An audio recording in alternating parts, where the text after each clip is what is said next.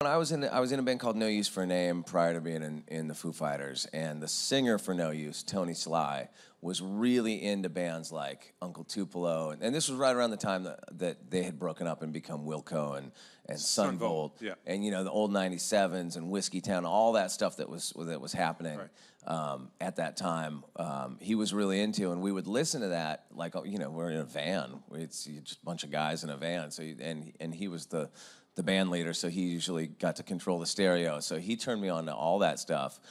And then, um, and from that, I just kind of kept, you know, I just wanted to, like, oh, I love that Son Volt record. You know, what what were they listening to? And you just kind of keep peeling it back. But then a buddy of mine, I remember asking a friend of mine that was that, you know, that does know country music. And I said, God, I love that old honky tonk sound, but I just don't know shit about it. You know, what what should I listen to?